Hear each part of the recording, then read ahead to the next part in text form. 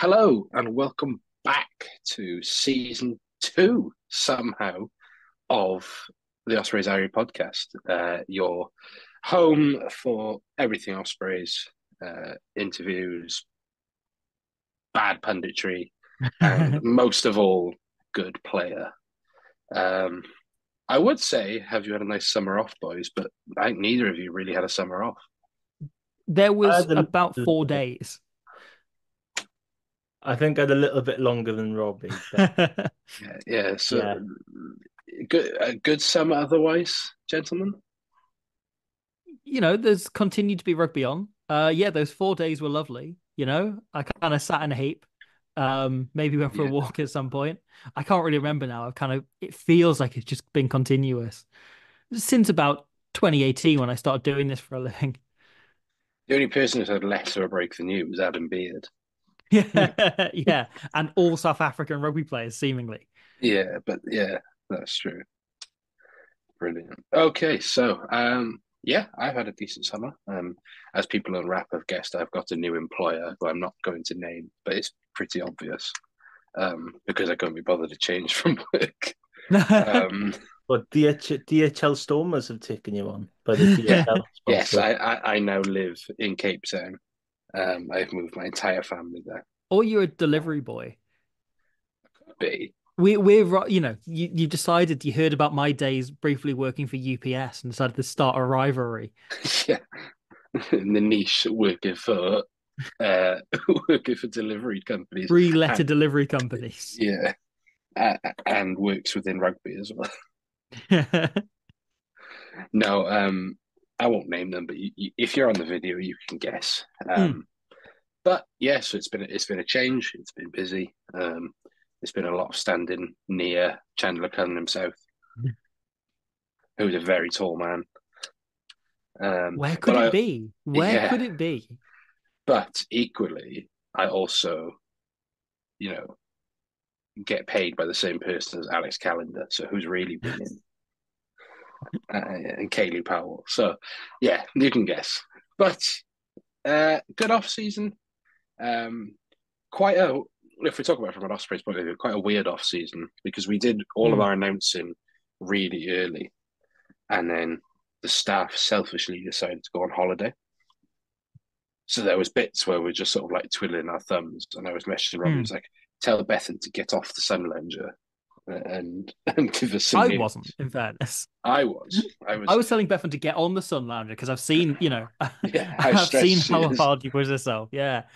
But I was telling I her to watch Marry Me, which I think I mentioned on the podcast, the, the J Lo movie, which she still hasn't watched, as far as I'm aware.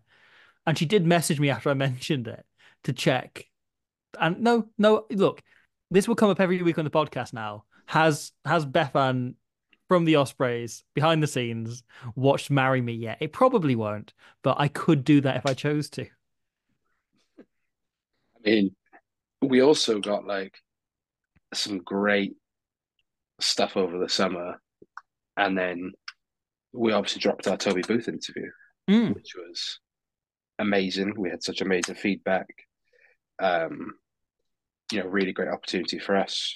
Um, that wouldn't have come about without the support of everyone, the the likes, the the retweets on that hellhole of an app. Um, that you know, I, I have forced myself to pursue with. Um, because there's just no one on Blue Sky apart from me, Iestyn, and a man called Peter, who we have just the one conversation with constantly. You, you do have the odd members of Irish Rugby Twitter on there, though. Yeah, but you know they're everywhere. True. So, in terms of that uh, Toby Booth interview, y- there will be more coming through the season. We, um, I won't go into details, but we were very fortunate enough to uh, foster a, a communication with the club, who have been very kind to us in um, allowing us to interview staff. Uh, we won't go into more detail, but read some good stuff in the pipeline that that, that we're uh, really excited for, especially as the in, in this milestone season. Rather than doing a dedicated news section, we just thought in this super mega extra bonus special preseason welcome preview, we'd sort of just talk about the news in little sections. Are we are we in agreement there, lads? Yeah. So let's start on the sign-in front. Uh, let's start with some staff. Richard Lancaster has been announced as our new chief. I think his chief commercial director would be the right thing to say. But he's definitely like head of marketing. He's got Anthony Cole Johnson's old job, essentially. Um, so Richard is Commercial director is the position. commercial director. listed as. Sunderland. He's a Swansea boy. Um, he former coach at Swansea Rugby. Yeah, Um, which, which is- surprisingly isn't mentioned in the press release. yeah. Um, but he's a St Helens boy through and through. Most recently working for Swansea University. Um, He's a big part in the commercial aspects and advertising of the Varsity Day, which, as someone who's been to said Varsity Day, is a huge, huge affair. It's the second Mm. biggest varsity in the UK, behind the Tory one, um, and it's also the other televised on you know fully available national television. Hey, hey, don't knock uh, Phantom TV, Derby Uni's TV station, which Oh, I hosted our coverage of Varsity two years in a row when I was a Uh, student. Look, I, I would never knock Phantom TV. I was the head of Phantom TV for a year and we did nothing. it's just a title for your LinkedIn. Yeah. Yeah. Yeah. What use it's been. I think this is the first time I've mentioned it since. But oh, yeah, so comes with good stock. You know, it, it, it buys into the um I said this at the time on, on the Hellhole app that it Hmm. is a reflection of what Toby's built with the squad. Yeah. And that has seeped into the staffing um and the move to the stadium to St Yeah. Helens. So it's a it's a really, really good appointment. Um yeah. And heard nothing but good things. And I think it ties the Ospreys further to Swansea Uni to the community, which I think is Uh-huh. something that's been talked about a lot by Toby Booth, by Lance Bradley, by pretty much everyone within there, you know, wanting it to be a stronger tie to the area, to the region. So yeah, continue to do that, continue to move in that direction. Someone that's very familiar with that. And, you know, the student population as well. If you can bring some of that in, uh, would be a wonderful thing. So yeah, you know, I I can't claim to be an expert, but all all signs point upwards, and you've got to trust. You know, the recruitment across the board at the Ospreys has generally been very good over the last few years. So, got to hope this is another moment of it continuing. And you know, to have someone named after a World War II bomber plane is just cool. Like if he got into if he got into charity boxing, his nickname would be sorted straight away. You know, Richard the Lancaster bomber. Like That tell me is that's the only that is the only Lancaster there is. Yeah, yeah, what what other Lancaster would there be? There's got to be like a Stuart. Stuart Lancaster, yeah. Richard, the Northern Man, Stuart Yeah. Lancaster. Uh, Dan, his son. yeah, oh yeah. Who was weird who has weirdly been saying to Racing Knights. Yeah, I wonder what that. I wonder how that happened. I wonder what scout was picking up on that. It's like a certain um Manchester man's son holding a very high position at yes. a, a, a, a northern club. I won't say more. Iestyn's favourite person. I mean, I haven't got But- any grudges against anyone. I'm not really sure what that comment's all about. you know exactly what I'm on about, Iestyn. I mean, Look, I could phone him. I could phone his dad. Phone him. He's You got previous could. of doing that to me. Yeah, I'm I've not still sure got his how, number saved. Yeah, I'm not sure how I've been picked on this uh, situation. Because you, men- you mentioned it on the pod before. You know you did. Um, so, uh, continuing with the sign in front, we have Hmm. signed from the Ospreys sub academy Ryan Conbeer on a short term deal. Yeah, Um, I think something widely talked about and kind of Yes. speculated the moment he was released by the Scarlets. I think a lot of people yeah, saw we were short a winger and wondered this was coming. Um, it is, you say, a short term deal with Keelan Giles injured through for two or three months. Um, I would suspect he might stick around beyond that. I think he is a player who we're probably getting much lower than you know the asking price would have been a few months ago, and he is a, a top quality URC level winger and has had, you know, moments in which you wondered whether he'd make a Wales squad. And those are the players we need to be making sure we can we can bring in. And I think it's a really, really good signing. I'm very, very pleased to have him and Kasende, who's been confirmed since we were last on when we were kind of talking about it as a something we've been hearing about. Um, yeah, I think they're both two very good signings and something different from the Luke Morgan, Keelan Giles, Harry Houston, who are good players but are perhaps not the tallest, you know, and perhaps in similar molds in that they're very elusive, fast options. And having someone, you know, Conbeer is rapid, but yeah, who has he's, perhaps he's got that power in him. yeah, has a bit of bit of power, uh, as does Kasende. Um, bit high if we are looking to kind of a kicking game. Um, something we saw Connor Moyes actually work really well with. Yes, I was going to come on to him. uh, when we get onto the, the game from the weekend. But yeah, um, yeah, I think a really useful option. And as I imagine, considering he was talking, there was a Wales Online interview. He said he was, if he couldn't pick up a, a deal in the next few months, he was going to be working as a you know as a bricklayer. I think probably a solid bit of business and yeah, a really useful squad option. Iestyn, thoughts? Uh, yeah, it's just just a good signing, really. You know, it's really unfortunate from Conbeer's point of view that he got let go at the end of last season because you know he's always been that consistent performer, and um, yeah, it's, it seems that you know it's good for him that he's managed to get a new club, and you know I think it, it could work really well for him. You're you're the Ospreys, obviously you got your Giles, your Morgans, um, and and players like that, but Your Giles, your Morgans. and um and and you know obviously the younger players coming through like like Houston as well. But um but yeah you know you kind of always felt like there was a winger or maybe too short when um when North Cuth Cuthbert and Protheroe all le- all left. So um it's nice to see additions coming in and especially two of them with with Kasende as well. Yeah, I think with me and Conbeer, I think, like Robbie said, when he got released, everyone was like, ooh, Ospreys, hello. Like, sign him. And there was a bit of that with Alan Summerhill as well, but that was mainly Cardiff fans feeling sorry for him. um, and I like Conbeer a lot. I remember that Mad Ospreys game uh, a couple of years ago. He scored that hat trick Hmm. where he made Protheroe look like a competition winner. um, it was yeah, it was genuinely like, how has this guy been let go? Yeah, and that's not me saying that the back division at the Scarlets is bad. There's some good wingers down there, Tomi Lewis, Tom Rogers, but you're thinking like he's only 25, Yeah. which is mental. But, But then also is apparently like now the second um, most capped under 20s player Wow. because the, the most capped under 20s player is Morgan Morse. Yeah. But if Um, you offered me any of those back three players at the Scarlets last season, I would take him. He'd be the one I'd want most. Yeah, I'd say Tommy Lewis as well. Yeah, I like Tommy Lewis, but Combe is like more Tommy Lewis. proven at this level. Yeah, Um, and But- yeah, I like Tom Rogers, but I think Combe fits what we'd want to do more. He fits the mold of winger we want. yeah. I mean, uh, he's five. Like he's listed Steph at Evans? five foot five foot ten, 14 stone, Yeah. which is short, but he's got a low center of gravity and good power, good Mm. hips. He he When- runs When like I said he- he's taller, I meant he's taller than me.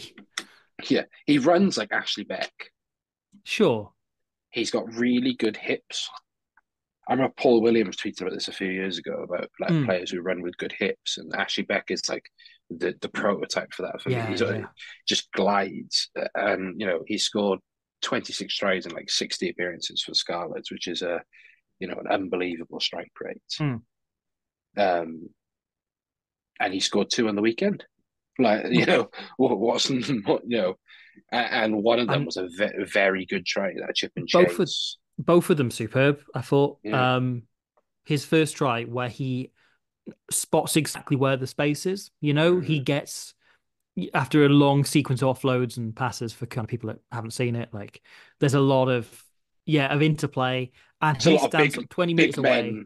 bumping Yeah. and throwing offloads. He stands twenty meters away where there are no defenders, and waits Yeah. perfectly, times his run onto the ball, and stands in position where if Luke Davis can get it to him, he is always scoring. And it's just a really good bit of like assessing where the space is and knowing his position. And Mm. I thought like really good bit of, of technical wing play there.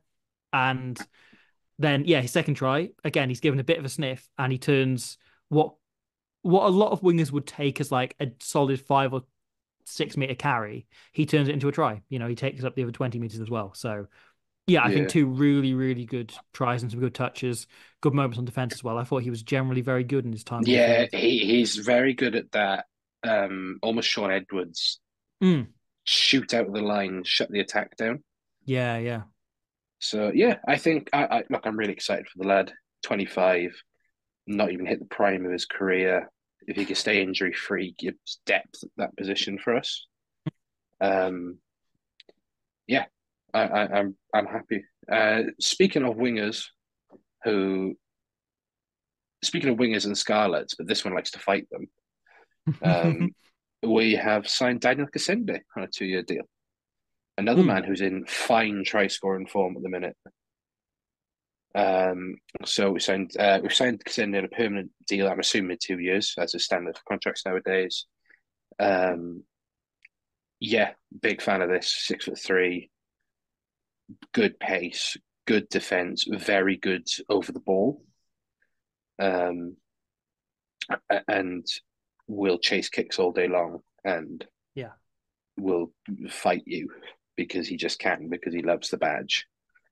Like I, I, I cannot explain to you how happy that Scarlet's game made me, and and just watching him grip Ben Williams and say like like he was from the top end of Bonymaen. you know, I'm I'm currently listening to Alan Jones's audiobook, right? Mm.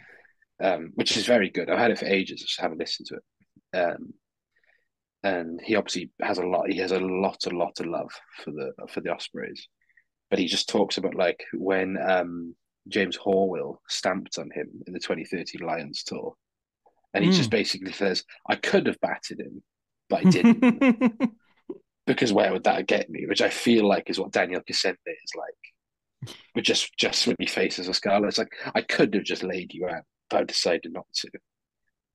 And of course, that video clip resurfaced where he literally he utters the words, "They didn't want it," which I believe is where that came from from us, wasn't it? Possibly. Possibly. I think it's just a phrase. It's just a thing people say. You know, it clicks on. And look, I will happily credit Daniel Kasende with anything. I think he made a hell of an impression in his two games, um, both local derbies. But yeah, made a hell of an impression there, and I'm very happy to be seeing more of him. You know, I think he's one of those players that would have been in when we look back. You know, we talked about like way back this time last year. Kind of streets won't forget Ospreys teams and he was an instant insertion into there. And yeah, Yeah. excited to see him get more time. He, I mean, he also made it into your South Africa New Zealand video. Yes, yes. A representative of the the DRC. the Congo. Yeah, You know, could Congo's have. proudest rugby player alongside Yeah. Madosh. But yeah, and I guess Chris Tshiunza. But And um, Vincent Tshituka. And, and Vincent Tshituka. Yeah, Yeah. Tshitukas. Yeah. They've got a decent team there they could put together if only they had a national team. Well, I, I put this in the group chat because obviously Instagram works now the fact that you collaborate on posts, so it Hmm. comes up on both their feeds. It was just really weird clicking on Osprey's post and Madosh Tambwe and Vincent Tshituka commented on it. Yeah.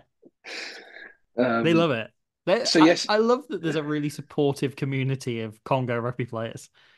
Yeah, it's like it's like it's like West Wales, but in like Central Africa. I'm They sure all they know love it. that. They all know each other and just support each other. So yes, then how, how how are you feeling about that? Uh, yeah, good. It'll be interesting to see how he gets on, you know, over the course of a season, not just for a short period of time. Um, I remember when he came on for his debut, it could have been there could have been a, a little bit of a better scenario than coming on at Rodney Parade when you're behind and you're down to 14 men. But he, he he did make up for it the following week. Um, so I think yeah, that's my my main concern in the way, is how he gets on you know, for the course of the season, you know, does he does he stay injury free? That would be a bonus, and if he can replicate that performance that he gave against the Scarlets, you know, most weeks, then it will be a really good bit of business. Yeah. Um, Postman always delivers. You know, coming up. Yeah. Uh, uh, something that we reported on, well, I reported on the Twitter a while ago, was the signing of Connor Moyes. Mm. Um, So, for context, I was sent this rumor back in May that we had signed a player from Nottingham University. Um, and I spoke to my friend, our friend and yours, Dave Rogers, the commentator, um, who commentates in BUCS Super Rugby. Very involved in that league. And we both came to the conclusion that it must be Connor Moyes. Mm. Um, and it was. Um, it has been reported by his junior club, which is the same junior club as Huw Sutton, um, that he signed a two year deal. But this is unconfirmed by my sources and obviously not by the Ospreys themselves. Um, I do have notes on Connor Moyes. They just happen to be in a different place right now. Um, it's a bit like my, my it's like my girlfriend who goes to a different school and you wouldn't know her. Um, but he had a ridiculous strike rate at Nottingham Uni. Like I'm talking like 24 tries in 56 games or something like that. Score. I can tell you. I can tell you seven tries against New Ash Green. Um, yeah, played for in one get. I think just in one game. Yeah, was uh, top try score. You know, like really strong, really strong kind of work. Uh, I can't actually tell you his try his total tries. no, I, thought I, can. could. I can because there's an eight minute montage um, on YouTube, which is very Yeah. good of his clips. So he's he's 21, 22, he's six foot three, about 95 kilograms, coming out of a very much a semi professional environment at Nottingham Uni or Mm. Uni of Nottingham. Um, wing outside centre, really good defensive game. So yeah, he has 53 caps for the Nottingham first team with 28 tries, which is a ridiculous strike rate. Mm. Um, he showed up well in the Origin series, chased his kicks really well. Positionally was very good. Um, The thing that on. caught my eye about that highlights package is so much of it is his kick chase. And Yes. that is, for a winger nowadays, at professional level, 50% of your game is Mm-hmm. how good you are on the kick chase. And that was the thing that stood out on Saturday about those those games in the Origin series is he is really good on the kick chase. And that is an absolute diamond in the rough. If you can sign someone who is that good on the kick chase, even if the rest of the game, you know, even if it did need a bit of work, and by you know, by the looks of the highlights and by the looks of the weekend, that is not an issue. Um, yeah, you've got you've got an absolute diamond in the rough there. And how easily can he step to the URC level? I don't know. Obviously, there is a step up from BUCS, but I'm very eager to see where he goes because I I think that's really really promising. Everything I've seen from him, and I'm not just biased because it is you know Nottingham Ospreys connections are rare. yeah. I think He's definitely you- walked past my wall with the bloody this the Owen Williams shirt on it behind me. People on the video. this is very nerdy. I'm a BUCS Super Rugby nerd, right? Hmm. Having watched the league a lot when I was in university, um, still watch it to this day. Is that where it was when Nagy and Sutton were playing in it? Mm. Is a very different league to what it is now. Mm. Nagy and Sutton was were very much students playing in a semi-pro type league, whereas now these boys are coming out are athletes, Hmm. right? They're in, they're getting proper testing. Their nutrition is sort, you know, it is more catered for. You know, they, they're on proper weights training and things like. that. That's not to say Nagy and Sutton weren't, but you look at if you remember the narrative around Alex Dombrandt when he came out of university in what 2019 Yeah, yeah. they were essentially in not so many. They just said he's fat. That's that's all they were saying about Alex Dombrandt was he's fat. He's an unbelievable rugby player, and he is an unbelievable rugby player, but he had puppy fat, Mm. and his conditioning wasn't great. But it just so happened that he could make line breaks and throw offloads, and he won the Premiership two years later. Do you know what I mean? So when Nagy made his debut, he made his debut in the Rainbow Cup. Or was it Yes, Pro away to, away away to Dragons, where he takes a ball off Alan yeah. Jones, hands someone off, and scores a try. But you look at Nagy there; he looks a specimen. You know, when Sutton made his debut, I think then he made his home debut and scored a try against Connacht. You know, that the pathway works. The pathway is so rich and vain. Reese Davis played in BUCS. Hmm. You know, I assume got banned for fighting. Fight, biting someone's ear off or something. Um, you know, Iestyn Hopkins played in BUCS, Mm. Cowan to plot at Scarlet. You know, this league is a legit contender league that boys now can step into into pro rugby. Like if um this is shameless promo for the other pod, but um Dragons Lair did a great interview with Hugo Staffson, Hmm. who was obviously Swansea RFC coach, but Swansea University um head coach as well, alongside now former Osprey Joe Thomas and Joe Grabham as well Hmm. down there. Um, but he talks very much about like why that connection is so important. You know, without it, we wouldn't have. And we'll come on to Origin series in a bit, but um, Theo Curry Hmm. playing for us on the weekend, who is a former Harlequins Academy and Scotland under 20 lock. But it just so happens to be that because he's able to go to Swansea University, which is a high performance program where he plays in BUCS, that we're able to use that. Yeah. So It's a weapon we have that, well, I mean, Cardiff do as well. Um, but is not that common in the URC. No, it, it's it's because it's obviously because we're the British, say so to say, us and the Scottish teams Yeah. are the Brit the British part of the the URC. We have, but our, our two teams are the only two that are in the BUCS League. Yeah. Um. So, like Cardiff have signed Joe Cowell at Cardiff Met. I mean, it's obviously really well documented about um, Immanuel Feyi-Waboso not going to Cardiff University heading, instead heading down to Exeter's program. You know, Chris Tshiunza went down to Exeter. You know, this is well documented. But this, you look in the um, the SRC, right? Aberavon, Ed Dunford was a Cardiff University fly half. Uh, Eddie Anya, who's a Kenyan Sevens player, but also played for Cardiff in BUCS Super Rugby. You know, all these different lads, you know, Yeah. are, are coming out, going into pro, semi-pro environments. So there's no reason Connor Moyes, you know, 28 tries at 53 appearances, at six foot three, 95 kg, without coming into a professional S&C environment, can't be for me. You know, not saying test level, but a, you know, a solid Luke Morgan esque like club winger, you know, a Hmm. dependable thing, and then hopefully he'll be like Nagy and Sutton, who uh, it's probably taken like two years longer, but people are now talking about Nagy as being in the Wales squad. People were raving about Huw Sutton at the end of the year, Yeah. right? And we talked and we talked briefly about this in our interview with Toby about that connection. So it's yeah, it's it's really good. Any more on uh, signings? No, I mean the well, the other thing I suppose is just Toby mentioning he we were too short in the squad that he wanted, and it he said we might not get those over the line. I'm guessing it's looking like that's not happening. Conbeer might have been one of those, but there was already talk of him turning up in training from Wales Online by then. So yeah, the the other one rumored is Lucas Sataro because currently we're on three senior scrum halves, but we had Hmm. Scott Whitlock. Scott Whitlock made his debut on Saturday.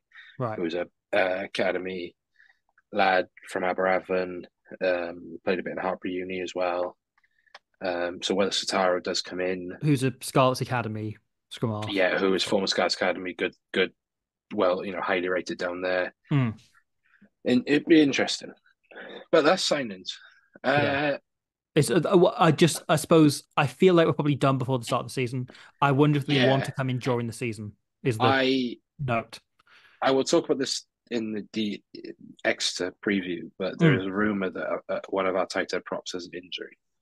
Okay. Um, I would still like us to sign a, a prop yeah, or look to bring in a, maybe a Cheetahs prop or a Hurricanes one in for most of the year, um, just to have that depth. Let's talk about kits mm. because they happened. Um, so I said I talked about this on WRRAP actually on on Monday. Macron have had a really strong year, unless you're yeah. from Cardiff. because I feel like they stiffed Cardiff massively because Cardiff always want this like traditional heritage like type Hmm. kit, whereas we went like let's take as many drugs as we can and put it on a kit. Um, so obviously the the home kit made its debut in the Origins. I thought it looked really nice. Um, I, I really like it on the players more than in the promote. The initial promotional photos, I don't think did it any favors. no, I think once you saw it in the better light, there was a different photo of Jack I, Morgan. I yeah, I said That looked much with Jack better. Morgan and Yeah. Jack Walsh, and it I liked looks it. so much better. much better there. And then once you see it on the players, I think it looks really nice. Yeah, It looked a bit like a training shirt in those initial photos, and I was a bit unimpressed. And I thought it was perfectly nice, but I think actually seeing it in motion, I really like it. yeah, it's really understated. Like the pink Yeah. isn't like in your face. It's really Yeah. understated. It looks good. Yes, what are your thoughts on on that home kit?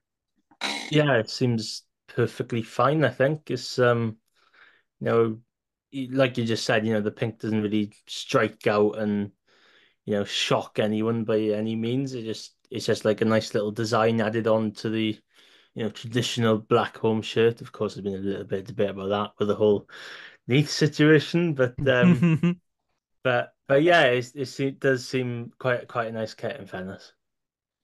Yeah, I think no, the big I, talking point with it is the lack of a sponsor, uh, um, yes, we'll come on to that. which, yeah, well, so to this is completely, you know, off the record, myself, like my own digging, not based on any sources, not based on having any conversation with the Ospreys, unlinked, but like EcoWatt, who the uh, sponsor last year, are currently being sued by the F1.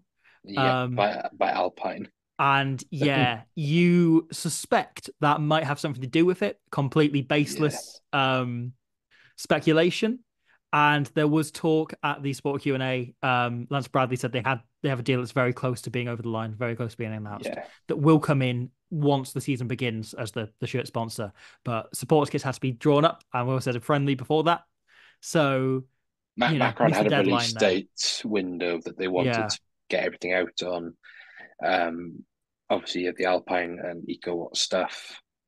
Um, there is this has come from the supporters Q and A is that yes, the deal is ninety percent done, it's over the Mm. line. The players' kits will have a shirt sponsor, but they've made the decision because of the feedback to sell supporters kits like replica kits without a sponsor all season. Hmm. So when you go to your club shop or you go to Macron or you go online, your shirt will not have a sponsor, yeah, um, which a lot of people have been crying out for for years. I like- kind of wish there was an option. If you had the option, if you wanted the sponsor Yeah. or not. But yeah, I mean, it depends what the sponsor is. Uh, if a sponsor says that's like, true. you know, Ron Evans pies, you know, but then I feel like if I look back on old Osprey shirts Mm. and like I'm a big football fan, I look back on like old, my old my team West Ham, Mm. where we were sponsored by like Dagenham Steel or Dr. Martens, and then the Ospreys. Like you remember like the N Power kits. Yeah, exactly. Like I kind of things like group them by the It- primary sponsor. it- it's synonymous. Yeah, you kind Like- of think of them almost in that era. Yeah, like like when all of Welsh rugby was uh, sponsored by BT. Yeah, yeah, yeah. you know, and things like that. So yeah, you do. I'm not saying like I remember the the West Acre days of 2021, but like you know, But like, yeah, I do, see you, Travis Perkins and I think of Northampton Saints. yeah, exactly. Or you, yeah, obviously you've got Dyson, you've got uh, Yeah. Bath, you've got like, you know, Habu at Bristol because it just makes me laugh that Habu is a sponsor. I've got Yeah. endless investment banks with other English clubs. I don't know what any of them do. or like when I look at Leicester Tigers, they get angry. Um, but that's for other reasons. So yeah, so you hate Holland and Barrett. You Yeah. hate Holland and Barrett so much. You're smashing my- up their stores, seeing their health food drinks, hating it. There's diverse range of crisps. You can't face it. They're different Every flavors of Pom Bears. So always every when I was a I go- kid, it's the only place you get other flavors of Pom Bears. Every time I go past, I just get ultra processed food and wave it in their face. Um, yeah, so um, But yeah, I suppose back- the, yeah, the point there being, um, I think there's some people concerned with the there's talk about money in Welsh rugby that we wouldn't have a sponsor and that's going to be an issue. So, but Yeah. that is that is you know coming in and supposedly there is nothing to say that we're going to be short. Um, Lance Bradley said the club ran at around a two million um loss last season, but they're hoping by 2025, 26, that'll be they'll be turning a profit, uh, or they'll be breaking even rather. The the Um, so the the two million um pounds Which- loss is a controlled loss. I would like to say Yeah. that that's so and the the thing is, all sports clubs make a loss pretty much. yes. So you look at the Premiership, and it's only Exeter that are in the green, um, So- aren't running at a loss. I, I'm not going to obviously release details, but Mm. the, the the club I happen to be employed by, Mm. we had a recently an, an annual like review of last season and preview, and when you see figures, right, sometimes the numbers look daunting. You see a two million, it it doesn't mean much in the grand scheme of things because it's not what you're losing; it's what you're on track to be in two years' time. Mm. So if you look at Quins' finances from three years ago, Hmm. it's a lot worse. That it, it Yeah. looks worse. But Yeah. you look at where they are now, you're like, oh, right, there's an upward trajectory, and that's what Lance Bradley essentially was brought in to do. Yeah. because that's what he did at Gloucester. St Helens is going to make a huge difference on that front, as we talked about when it was announced. Yeah. So, so for for context, um, TV money Hmm. accounts for sixty percent of our income. Yeah, So if you're in England and you see the Premier Sports deal, you but you panic a bit. But actually, it sort of helps because you're getting, you know, we you're contributing to a bigger TV deal that the the aim is is going to be bigger than it was before. The reason TNT Hmm. aren't up in is because essentially they've exceeded the value of what they can get with rugby Hmm. because essentially rugby can't peak anymore. So if you take it to a new platform, Premier Sports uh, want to, to, to level it and to, to it plateaus. So yeah, the, the away kit looks like an Evian ball, but I love it. I really do love it. And what's actually great is the marketing, and we do this really well, right, as a club, is the marketing for the away kit had um, one of the under 18 girls front and center Hmm. with um, Kai Bishop, who's one of the Ospreys' wheelchair players, who's a great character in and around the club, um, whose mum is really active on one of the Facebook groups. Oh, Um, and says that the the third, James the third Fender kit, situation. the third kit is is is good. Okay. So, yeah, I, I, you know, look, I'm really happy with Macron this year. The training stash is lovely. Um, I really like that stuff, and it looks good as well. Um, yeah, I think, you know, I thought we had a really good stuff with Umbro, right? And we all Hmm. remember how good Canterbury was. I do feel like we're getting, so, you know, we've had a bit of teasing pain maybe with with Macron, and I think all teams have. But I really think we're hitting our stride with Hmm. them now. So yeah, any more about the kits? No, I mean, just I think it's great to see more of the the wheelchair team being included. Like, Yeah, yeah, uh, I think it's a really cool part of the, the club's identity. There are very few clubs in Britain and Ireland that have, or even professional rugby in general, that have a wheelchair rugby team attached. And it's always great to see them successful involved. one as well. Yeah, yeah, yeah, yeah. One of the, well, I mean, the top club in Wales and one of the top in the UK. So actually, should we talk about that supporters meeting? It's not on our list, but we might Hmm. as well because it covers a lot. So there was a supporters meeting. None of us were able to, to get there, um, but someone on on Glad, the hellhole that is that website that I am addicted to. We've just the thing is we've just got to rank the hellholes, and it's less of a hellhole than Twitter. yeah, I suppose. I mean, is it though? Also, It dep- depends who you jump into, really, isn't it? it depends which so, depends which one you go on. yeah, Um, it- it's funny because every time the Ospreys one on the the sub like subreddit, if you want to call Mm. it, started in 2016, and every time I open it, it's like, when is Kieran Fonotia rocking up? Please don't be as Mm. shit as Jamie Nutbrand. They're the first two comments on it, and it makes me laugh. Every like yearning for a simple time. Um, so basically, the stuff that come out of it is obviously what we talked about already.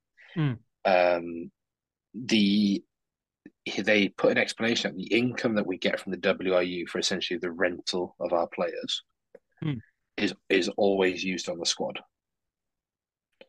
Um, he reiterated that that, that cutting a, a region was never an option. Yeah. Um, and actually, knowing what we know now, what came out of the news yesterday about increased funding mm. makes sense um, because obviously they would have been present at that JSG meeting. Um, so yeah, you know everything that we've heard so, heard so far, um, is yeah positive talks. Uh, obviously going to get a new funding package that'll bring us up to six six point four million. Obviously nowhere near the the Irish teams, but is is about is is in line with the Premiership salary cap. So the Premiership salary cap, if people don't know, is six point four million. Hmm. Um, and uh, teams obviously choose to spend either to the limit or or not. Um, and for the uh, supposedly around what Connacht run, um, Ulster and Munster yeah. slightly above that. Ulster are going to be slightly lower next year. Ulster have been higher than that. Ulster are probably going to be around that figure this year. Yeah. Um, Leinster are about 16 times that, though Geordie mm-hmm. Barrett is rocking up just for the love of um, yeah. looking at green things. Because he, he, yeah, he played for Garryowen. Yeah. Um, his his yeah. aunt once mentioned Ireland in passing, and yeah. thought, "Oh, I've got a one day play there." He's actually not being paid. He he he borrowed Huw Sutton's father Ted box set. Throwing back to an earlier podcast.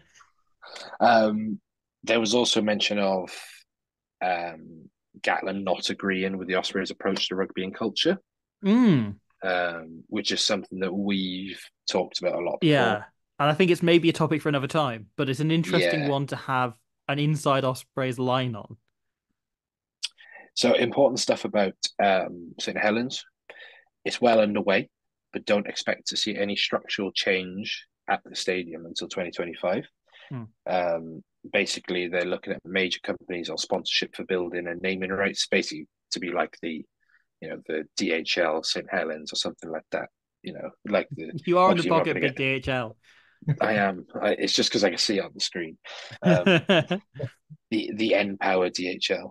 Um, there, there's rumors of a an energy company wanting to use solar energy with car charging points. So someone like EDF maybe.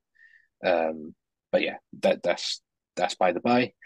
Um, there is confirmation. Obviously, we knew this already, but a 4G pitch will be installed, hmm. um, and it will continue to host uh, Swansea University RFC for BUCS Super Rugby. Um, what this will also allow to do is upgrade the TV facilities as well, so it's be hmm. easier to stream down there, which is one of the issues at St Helens at the minute. It's a nightmare to stream a game down there. Okay. Um, also, obviously, host Swansea University, and we'll also be able to host um, community teams and a natural pitch. While St Helens is one of the best natural pitches in that league, yes, then probably attest to it sort of being down there quite a bit it won't hold up for sustained yeah. use. Um, and Toby Booth actually explained that there is a lot less soft tissue injury and mm. far less turned ankles and twisted knees on a 4G pitch, um, which is uh, something that our friend who's who um, Hugh Griffin has also talked about as well. Mm. Uh, the existing clubhouse will be primarily used for corporate, um, obviously, you know, naturally because of where it is above the, the, the ground. Uh, there'll be a fan zone in a covered marquee.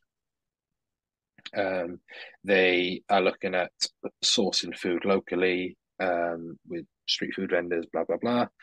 The new stand will be higher than the existing stand at seat around five to 5,000 and uh, hoping that a covered terrace will get planning for around two, two and a half thousand, giving 8,000 capacity in total with room to expand by another 2,000 if we can sell out on a regular basis. Um, as for the type of stand, Edinburgh's Hive Stadium is is your like visual metaphor, hmm. uh, which Lance which Lance was apparently involved in construction of. Yeah, that came out of nowhere. That was which something we hadn't heard about before. I yeah. like to think it's not an administrative role, like he was like a Sparky or something. Yeah, yeah, yeah. like well, Toby was a former Sparky, so he could yeah. have done it. We could have, yeah, just get Lance in. You know, he probably put up put up shelves in the in the clubhouse. Um, and as Robbie said, the, the, the plan is to break even by 26, 27.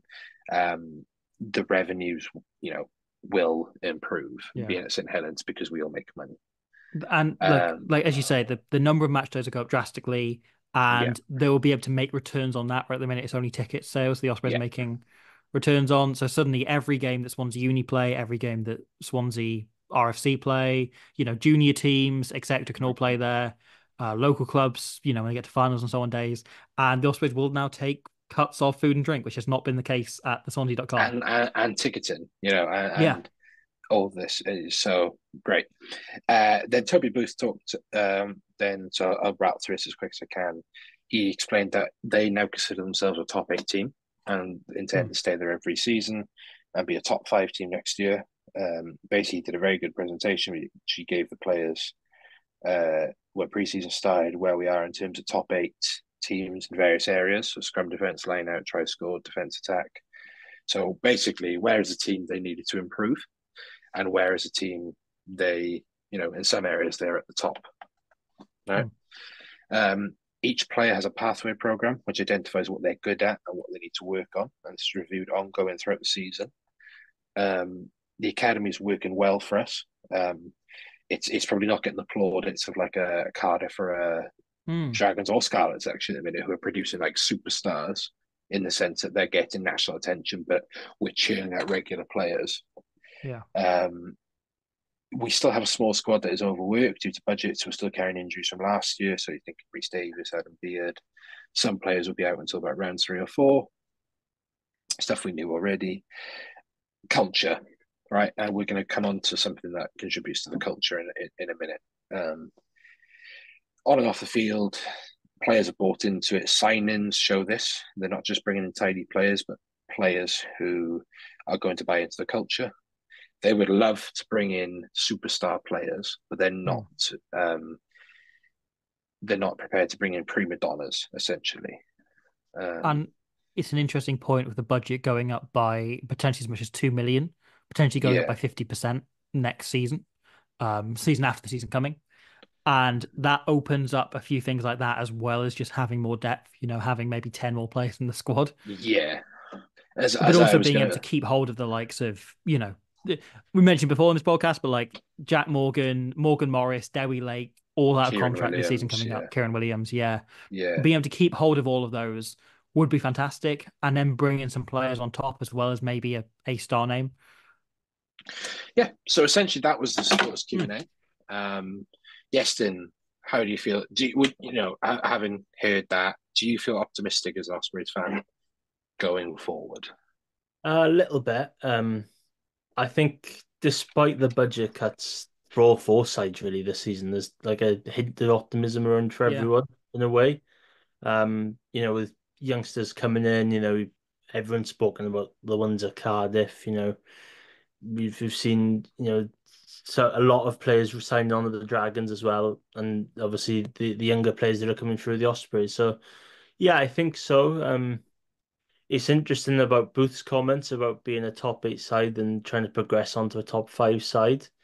Um, I've got a piece on that in the works, which will be quite interesting. Um, and it's just going to be really interesting to see what will go on because, as Welsh rugby always is, even as a fan or as someone that wants to hmm. have a career in writing on it, it's it's going to be some roller coaster and you know, it's it's a, it's it's the time now to strap ourselves in and see what happens in in a way. So um, it's going to be uh, quite exciting, I think, uh, season 24-25. Speaking of roller coasters, Ospreys released something uh, this week. Um, mm. So they dropped a teaser. A theme park. Uh, uh, yeah, they they yeah. Ospreys Land. Yeah. The Ospreys have now merged, merged with Oakwood. Mm, that, that yeah. Megafobia, but the phobia is winning trophies in the late 2010s. oh no. Um, the, the, the phobia is Steve Tandy and an attacking game plan. Um, that's harsh. I'm just, I'm just thinking of of all the rides we could have at Osprey's Land. You know, the a Keelan Giles log flume. Um, um, I'm not. I'm Kieran, sure. Surely there's a. It's it's it's a Keiran Williams ride, but you're a crash test dummy in a car crash. Keiran Williams Dodgems. Yeah, where you just, Keiran Williams. Everyone's got Keiran Williams's face, all the Dodgems, ra- and he's just bash into each yeah, other. Yeah, rather than Dodgems, it's like murder ball. Yeah, yeah, yeah, yeah. You just give everyone a ball and you just crash into each other at high pace. This is a great idea. Um, it's not our worst one, to be fair. No, We've I think that I think that's a legitimately superb idea. They should implement at St Helens when it opens. yeah. Um, so yeah, I lost my train of thought. We released a documentary. Mm, Um, so about for- the creation of the Keiran Williams Dodgems. yeah. this is the start of it right now. It's really meta. Uh, yeah. Right. Okay. Yeah, Yeah, so we sorry, released- yeah, the Yeah, documentary released on YouTube. documentary. Oh, I'm so tired. We released a documentary. um, so for context, is I was very lucky enough. We all all three were very lucky enough. But I don't think you all watched it early. Hmm. You, Robbie, you definitely didn't. No. Um, we were lucky enough to see it early, a couple of hours before it dropped, and um, I was gobsmacked at what we'd made as a club. Hmm. For those who aren't aware, this was all made in house.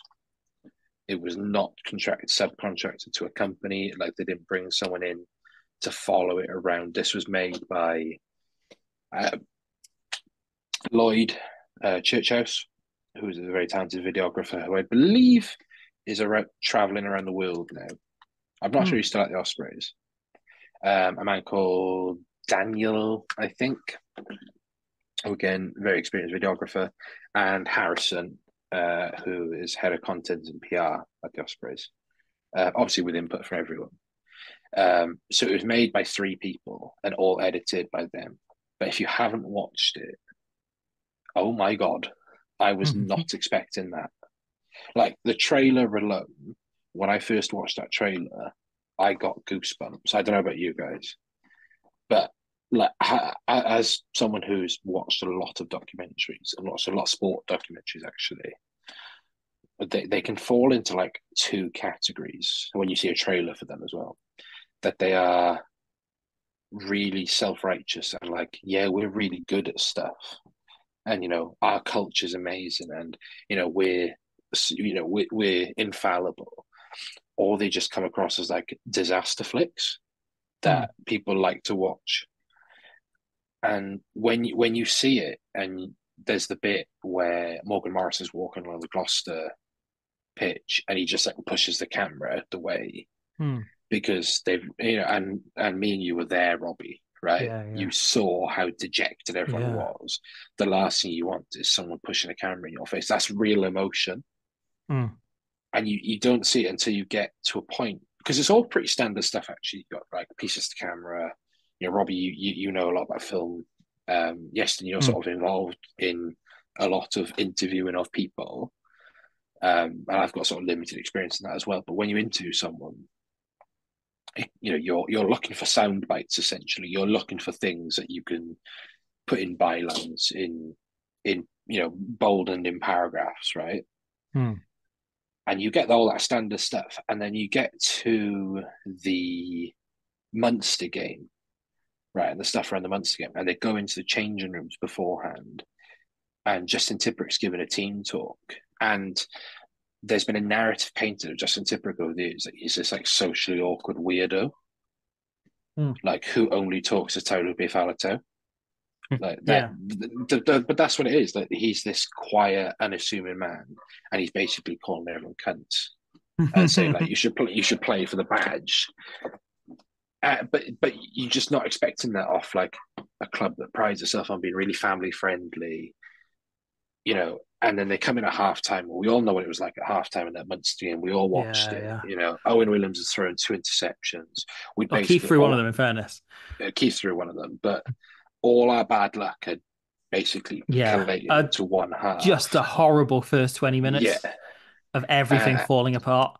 And you get and they get into that, and you know I've been in them changing rooms before where you get in and you just get bollocked, and they go in and they're like, "Yeah, we're down, cool, let's go out and like we're still in this," and, Mm. and you see it, and you see another side of Toby, of this like because he comes across as like that quick-witted uncle, you know, who gives really good advice, Something he's Sorry, something we saw a lot last season was the Yeah. Ospreys starting quite poorly but hanging on in there and then coming out the second half a different team Yeah, and getting to see that process and see what was happening at halftime because we do see bits in there of Toby talking but also Mark Jones and Duncan Jones. yeah. The and- Duncan stuff is my favorite. Duncan's I great think of Yeah. that. talking about you know looking your opposite man in the eye and just running through them be it a scrum carry whatever. And you saw that though, because we had Mm. Munster scrum like Yeah. on toast, right? And we arguably should have had a yellow card, Mm. you know, if I'm being pedantic. But you can see that with Duncan, like he genuinely believes in the program, Yeah. which is of his scrummaging program, which is why I'm not worried for like the likes of Garyn Phillips and Ben Warren, like who have had yeah. questions of their scrummaging, because I can see it in Duncan and how he talks there. Yeah. I thought really interesting bit in in the week as well, separate to this, but um, there was a really good interview on Wales Online with Dimitri Arhip from Rossborough's favourite, Yes, yes, yes, um, yes, by yes. Ben James on Wales Online, Mm. and Good interview. he, yeah, real and really good interview, like really well worth reading. But he talks about his first scrum at training the Ospreys when he was against Duncan Jones. He went, "Well, I'm I'm twice this guy's size. I'm going to just smoke him. I'm going to smash him backwards." And he just got eaten alive because Duncan technically was so much better. Mhm. And he said he then spent so long when he was a player and when Duncan was a player doing sessions with Duncan after Mm. training and so on and just learning things and learning to be technically good. And Dimitri Arhip went from being a very rough around the edges person with no, you know, physically was big enough to be and, you know, physically dynamic enough to be a good scrummager, but had no Yeah. technique whatsoever, to being one of the best scrummagers in uh, the Pro 12 as it was at the time. And, you know, signing an enormous contract with Montpellier as a result. And yeah, just like shows how good he is, you know, on top of everything else. Like really interesting way of looking at Duncan as a scrum coach because I think we all here rate him unbelievably highly. I think he's amongst the best in the world, best scrum coaches in the world. Uh, and he deserves to be mentioned, and he isn't, but he should be mentioned alongside the Adam I- I- Joneses and the Jason the yeah. I mean the Tom Harrison stuff. Like you've you've met Yeah. Tom and and Yeah, yeah, with brilliant. Tom, and yeah, who's absolutely fantastic. But as I always mention, I mentioned to my English mates, is that Mm.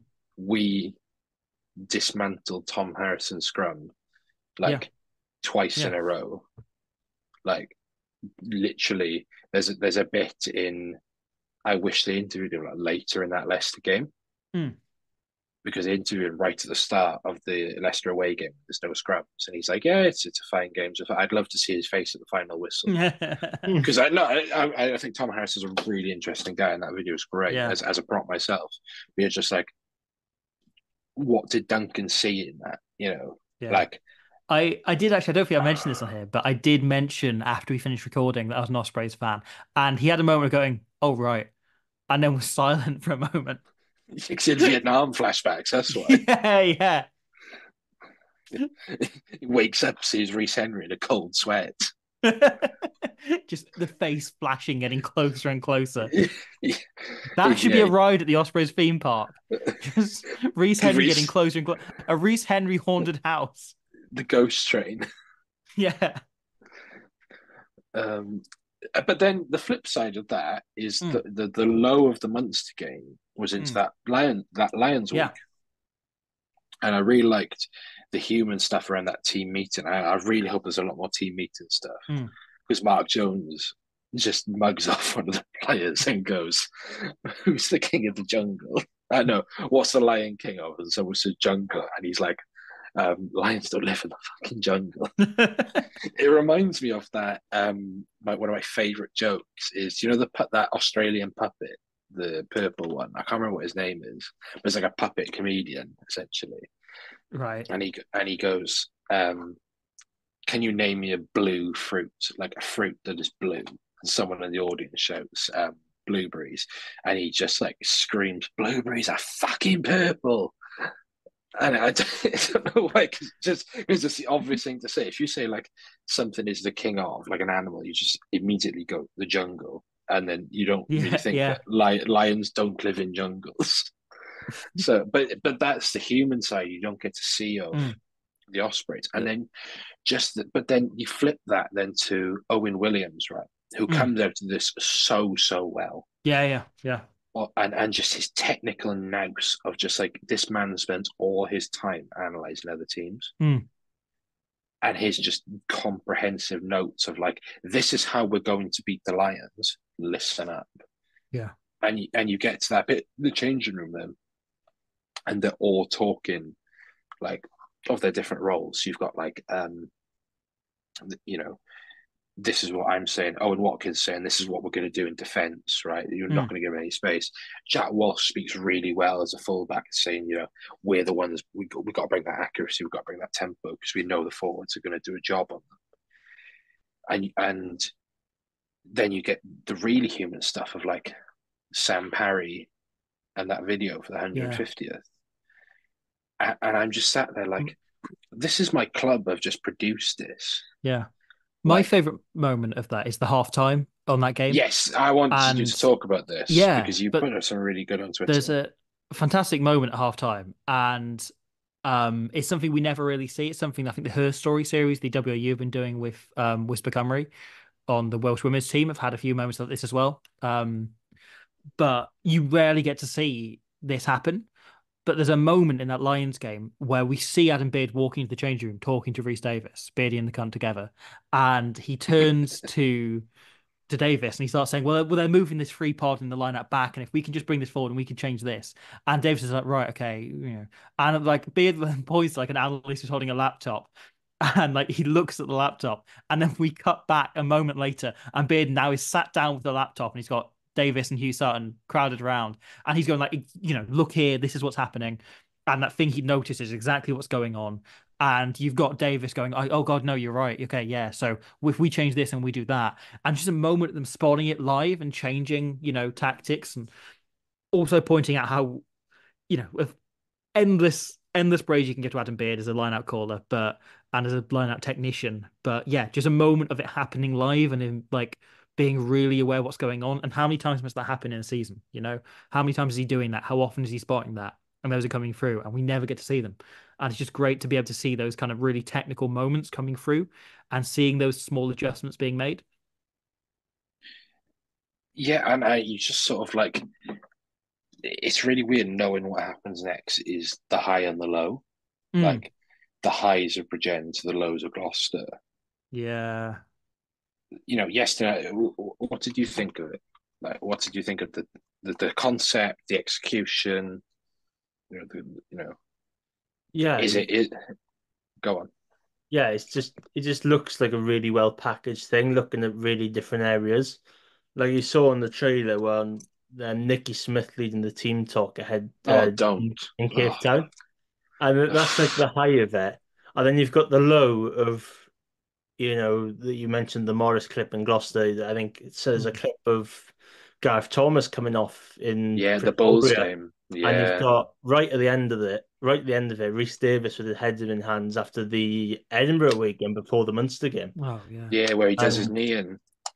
When when Davies loses the line out right at the end, and Edinburgh keep yeah. hold on, hold on to the ball for the last minute and boot out a play and win by four points and you know just see the the raw emotions there. You know, it's it's clearly not made up. You know, they're not acting up to the cameras at all. And this, yeah, you know, it's it's really as good to see, and it's going to be really interesting to go on that roller coaster, like I mentioned earlier, from the European, you know, knockout matches to the game yeah. in then back down to the Bulls Leinster games, then kind of back up in a way to and and that knockout round to qualify for the top eight. What's I think something you mentioned as being almost surprised and proud that the, the inner club staff made this, but I think yeah. it could probably have only been made by people around the environment constantly. Yes, because those players aren't reacting and aren't acting up to it as though there's an external camera team in there. You know, mm. it's people that are used to being in the environment, and maybe they're often holding cameras to bit get little bits of social media, and that's just stepped up, you know, to kind of a, the next logical layer. And I think you can kind of tell everyone is comfortable with the people around there and the people in that environment, and that comes through. There's two things I want to say. The other bit is mm. I really like um, Toby paying tribute to Simon Church at the start, mm. a man who never gets talked about. I think as a, as a you know head S and C guy, a key part of that staffing group as well as Chris Towers as well. Um, and the that I can't think of anything else in rugby that's been made like this.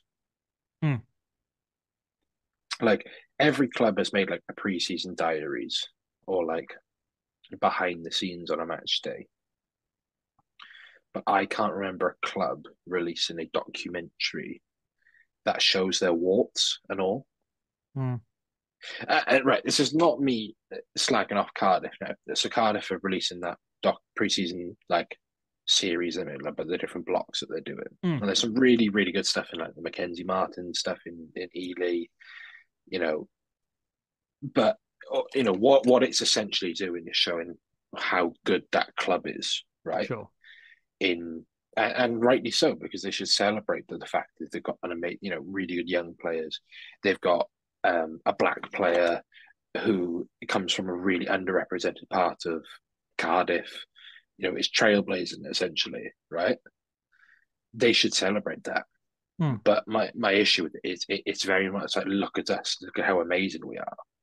Where you know that bit in The Simpsons where the newsreader like clips at the back of his head to, to like make his you know all this look really good, and then because he's had so much plastic surgery, he's like melted the back. That's essentially what it is. It's not addressing the fact, or barely addressing the fact that Hmm. Cardiff were a poor team last year who didn't compete in the forwards and lost, you know, so many games, right? Yeah. Whereas I- this directly addresses the fact that we fucked it up against Munster. We're taking back to back 60 point losses at uh, Leinster and the Bulls. Mm. We cra- we crashed, we, we, you know, and we did, we crashed out of Europe, Mm. right? Because we didn't play as well as we could. I don't know another team or an international team who would release something like that. I do think a lot of the her story stuff is really worth watching. On a similar note, yeah, like the, the, and I don't quite get into it this season when Wales did crash a bit. Yeah. You know, I think it was easier for them to put that together when Wales were broadly good but had the odd off game. They were really Yeah. good, and then this year I think it shied away a little bit. And that Ireland game we saw very little. But- um, but her story yeah, stuff comes from again an underrepresented part of the Yeah. game, and it's all. But it, but my thing with the her story stuff is manufactured by Mm. an external thing. It's yeah, through Vodafone, and as great as it is, it's a corporate. What Sure, yeah. corporate what a corporation wants you to Oh, the- see There's a great women's moment rugby. in every episode where someone phones someone up using a phone with a Vodacom sponsor Yeah, on ex- it, and all, they always say the phrase, "Oh, it's great to stay connected." TM. There's, Yeah. there's, you know, drink whenever they say "stay connected" in her story. But that's what I mean. Like, I will, this is I will, so I will post it every time because it's my comfort Yeah, TV no, show. the It's her her story. story stuff is great. But, but th- yeah. th- th- this is just so raw. yeah, no, it's and, it's great. Uh, and and I selfishly wish it wasn't an. ep- I'm assuming it's an episode a week, but I I wish we were getting them more regular. I wish we just got a drop of like a 90 minute version because I could have Yeah. watched. I could have just gone straight through that. I would have loved that. But I, I came out of it like I love this club and I love this culture Mm. because uh, you know the so the person who you know we're, we're very close with the Ospreys said to me, this wouldn't have been made if the team weren't so close and trusted the staff so much. And that's not Yeah, saying yeah. um, they just trust Toby and his team. I mean, like everyone from ticketing to operations to security. Do you know what I mean? Like, if they Yeah. didn't trust these guys, then this wouldn't be made. So, right, I think we've spent enough time on that. We need to crack through. Right, Mm. very quickly. Origin series was very Mm. good. Young players got some great um, uh, game time. You know, players who necessarily won't feature in the URC, but will be in the SRC. Um, mm, very quickly, who came out of it for you, Iestyn, with some credit? Um, he, maybe not in terms of credit, but I think Scott Whitlock might be one to watch in the SRC next season.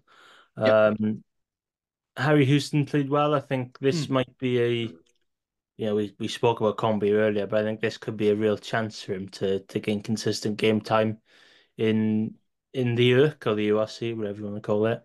Um, and uh, yeah, it's really exciting to see how how he gets on, I, I suppose. And um, yeah, it's, it's, it seems to be a lot of young players coming through, and I think might have read somewhere from that supporters meeting they want to get a, a set number of players through you know, a couple of Yes. players into the Yeah, squad six each players, they said, season, yeah. Six players a season. and yeah. um, I think Houston will be one of those. Yeah.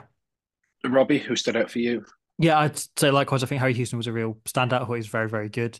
Um, I thought Connor Moyes as well, as I mentioned earlier, like Mm. having a winger who looks that strong on a kick chase is invaluable when you get into the higher levels of rugby. Um, so that really stood up.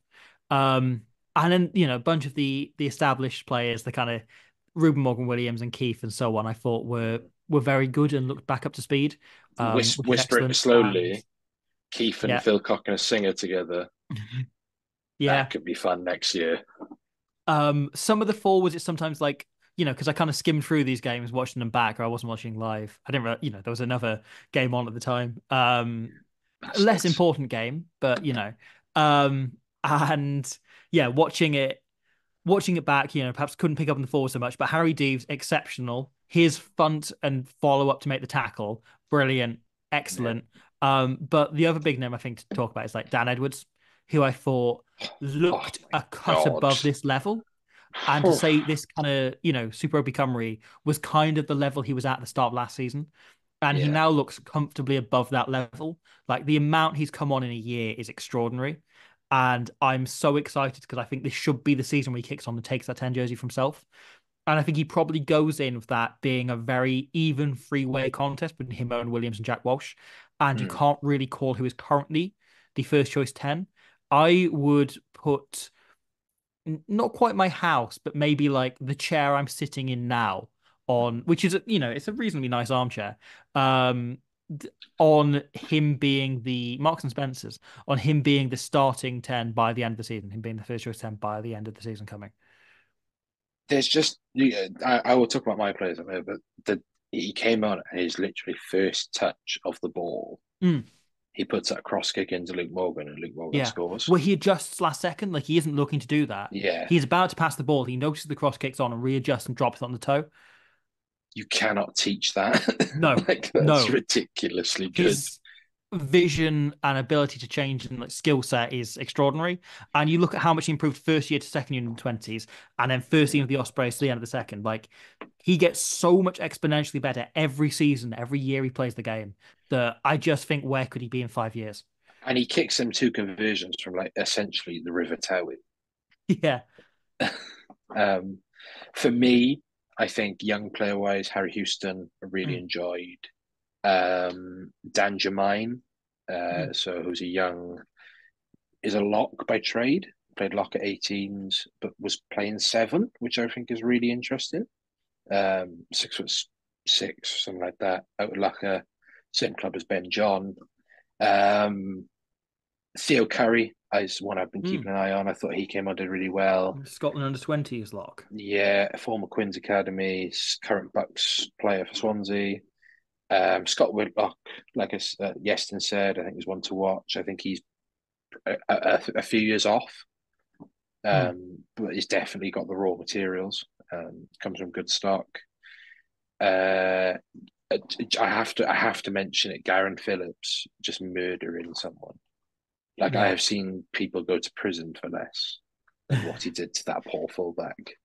Um, I thought Luke Scully came out of it really well, actually. Yeah, No, agreed. Um, Both at ten and as- thirteen. yeah, test level 13. Yeah. As we all know he is. His try, the line he picks off Dan Edwards is very good. Is very nice. Like Yeah. And He he's very kicking game as well, actually. yeah, and I Um, really liked him and Dan Edwards as a combo. Like I thought they really Yeah. gelled together quite nicely. Um, who else? I did have a couple more. Um, Cameron Jones. Oh, uh, yeah. the, the, the rampage and people carrier. Bulked up even more Yeah, because he Um, was like a big guy, but he's like I think expanded in all dimensions. He's now he's sort like- of a cube. it's like six and- foot six each way. Yeah. But he was like one of those tall props that you get sometimes where like, you know, New Zealand produces a decent number of them. Like a tall prop who kind of a lot of his weight is spread out evenly across his body. And he now, as you say, has become like bam, bam, bam. Like across the board. like- Like... a cuboid penguin. He looks like a thwomp off Mario. yes, yes, he does. Yeah, um, and yeah, re- still has that turn of pace. yeah, Lead with it's good, the first pace, good offloading game. Yeah. Um, Ethan Lewis for his uh, 40 meter dash. Mm, Um, but you can see sort of again, you can see the evolution of what the Ospreys wanted to do. Yeah. they're wanting to play off ten a lot more. Um, so you're seeing Scully step up to the line, f- throw in that flat pass. And you know, maybe they can do it because it's an SRC team, or maybe not have the, the line speed. Um, but I think it was a really good combination of tests for them. In that they had first up a game where that Aberavon game, they barely had the ball. Um, yeah, really good defensive set. yeah, really, So- really good.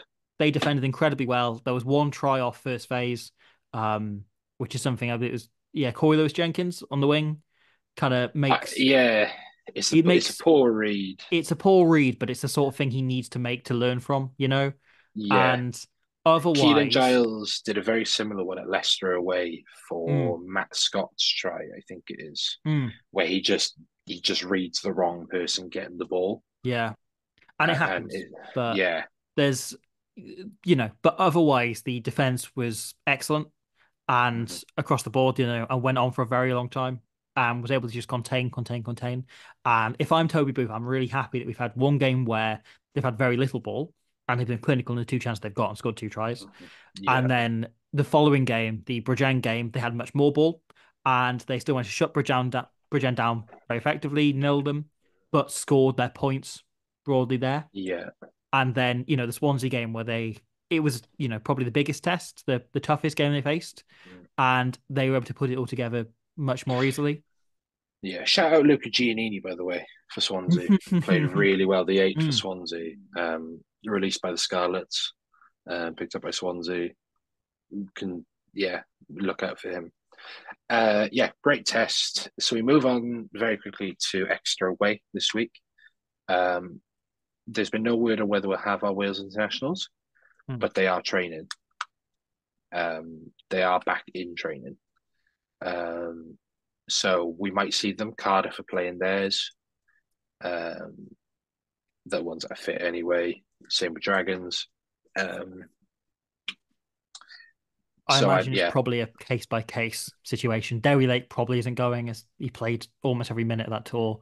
P- potentially, but then you can say the same as Owen Watkin. Yeah, he played also nearly every minute. So you know, we had we had you got to remember we had so few on that tour that's true. that Yeah, we have to like we have yeah. Um, so expect to see more of a squad that you see in a URC game. Hmm. Um, I still expect to see a lot of young guys in there. I expect we'll still take 30, 35 players up, um, depending on what Exeter want to do. So Exeter obviously not um, no Daf Jenkins. You know, this is the custody of Ethan Roots and Joe Hawkins match. Whoever wins this gets to take them home. Um, yeah, I, I think it'd be a really good test for us. You know, Exeter probably, if you asked say what Prem team were closest to how we play, is you'd Hmm, say Exeter. Um, except you know Toby Booth is likable. Um, so yeah, be a good test. Uh, I, you know, I like the makeup of that Exeter team. So yeah, I'm looking forward to it. There's you know not much to say about it really. It's a preseason game. Yeah. Um, don't get too caught up in pre-seasons. We've had like really good preseasons before and awful seasons. Yeah. So to finish off, I know we sort of the whistle stopped all through that, but Mhm. there's a lot to cover. Rather than playing good player, which we Mm. could have played um, tonight, we set each, each other a challenge of naming our favourite 15 from an Ospreys. So Mm. this is not the best. This is not the ones that would be the the, the dream team. This is not a streets won't forget. This is a 1 to 15 of our favourite players to pull on the Ospreys jersey. And Okay. what I say is that we argue, we know we decide on one as the pod overall favorite between the three for each Yeah. position. All, all three are going to be uploaded to, to the hellhole to for Yeah. you to vote on, but we will make a pod one. Okay, so yes, then. do you want to start at the forwards or do you want to start at the backs? Ooh, Um, Do you should we want to go fifteen to one, or do you we want to just go one kick it to off with 15? Nicky Smith? Just get the ball Right, rolling. you're you're okay. So you're going Nicky Smith at one. Yes. Okay. Or maybe I might Robbie. put him a fullback. I don't know yet. With apologies to Duncan Jones, who's a close second. Nicky Smith. Nicky, it's got to be Nicky Smith. Really? Okay. So Yeah. I've gone for I've gone for Duncan. It Yeah, kind no, of- I it- love Duncan, but at this point, feels- Nicky's. It feels really player. harsh. We've just excluded Paul James out of existence. Yeah. Yeah. So there, there, there, there was a lot. So Paul James in there, definitely. But Paul James, with love and respect him, who was in the crowd on the weekend of this son Dylan. Um, Hmm. Paul James was really good at like he's he's like six out of seven out of ten at everything. Like if you asked him to Oh, carry, he'll scrummer. carry. If you ask him to scrum, he'll scrum. Whereas Duncan had like some of the most underrated hands in in Welsh Hmm. rugby. Nicky has an amazing footwork game, really great off the ball. So I'm happy to concede Nicky there for the pod. I think, yeah, I think Nicky is just like he's got a feeling of being like, uh, like mine. You know, I remember come seeing him come through, or like ours, I suppose, better than mine. I don't own yeah, Um, but even though his signature's on my wall, so I could legally fake that. Um, but yeah, I just yeah, I don't know. I feel like I felt genuinely really emotional watching him walk off the pitch against Cardiff for his last game, Yeah. and as, We'll as miss someone who was him. there, right? Okay, hooker. Yes, then go. Ooh. Favorite hooker to play for the Ospreys. Well, I, he, is it probably like the unsung hero, the amount of hat tricks he's scored? It's probably just about Sam Parry.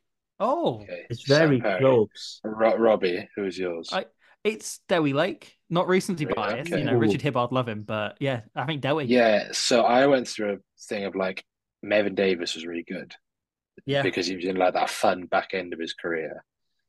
Huw Bennett was really underrated. Hmm. Um, Hibbard was I loved Hibbard so much. yeah.